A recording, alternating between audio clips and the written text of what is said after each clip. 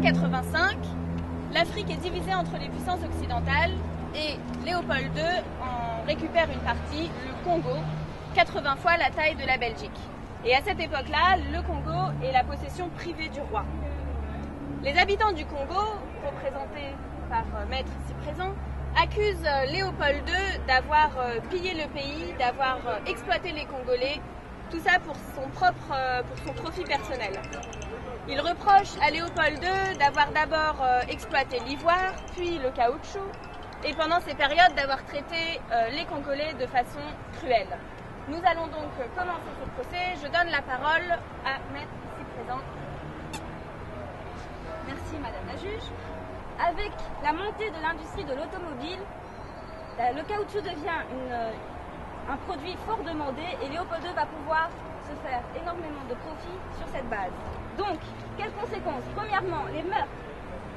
Lorsque les villages ne peuvent pas atteindre les quotas demandés, la force publique est envoyée et souvent cela se termine par des village entier complètement détruit.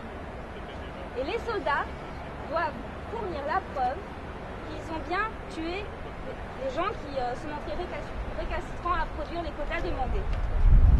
Cela, ils doivent couper les mains. Lorsqu'un village ne récoltait pas assez de caoutchouc, les femmes et les enfants étaient pris en otage et emprisonnés. Et bien souvent, cet emprisonnement se terminait par la mort. Toutes ces raisons ont mené au fait que la population congolaise a diminué de façon drastique. Une commission gouvernementale belge estime qu'en estima en 1919 que la population congolaise avait diminué de moitié. Ceci est énorme. Nous accusons Léopold II de crimes de guerre et crimes contre l'humanité. Merci, maître. Je vais maintenant donner la parole à l'accusé. Majesté, qu'avez-vous à dire pour votre défense?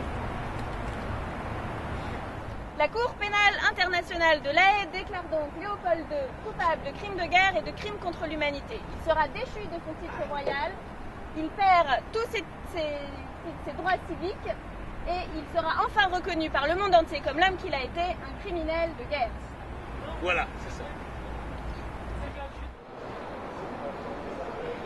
Ici, pour inaugurer une statue Lumumba, la toute première en Belgique, c'est un moment très important à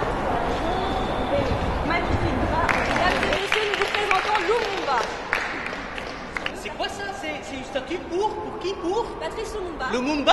Oui. Vous donnez une statue pour Lumumba? Tout à fait.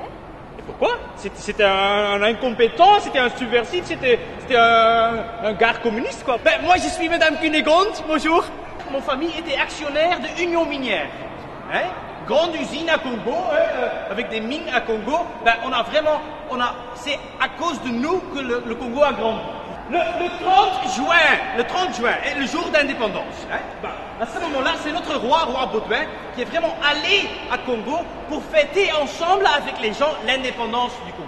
Et il a tenu un speech très très beau. Hein. Il a dit que oui, c'était vraiment à cause du génie de Léopold II que le Congo a pu grandir. Hein et à cause de l'intelligence de Léopoldo. très beau speech. Puis après, c'était euh, M. Kassavubu, le président. Il a aussi pris le micro, il a aussi expliqué que vraiment c'était grâce aux Belges que le Congo était si grand et tout ça. Très beau. Et puis, c'était M. Lumumba là qui a pris le micro. Terrible, hein Il a dit que oui, les Belges ils ont toujours maltraité les Congos, les Congolais. Madame ils ont toujours tabassé les Congolais. Vraiment un speech comme un vrai Hitler, quoi. C'était la haine avec le public, c'était terrible, M. Lumumba, terrible. Moi, ce que j'ai dit, j'ai dit ce que tout le monde pensait tout bas, tout haut.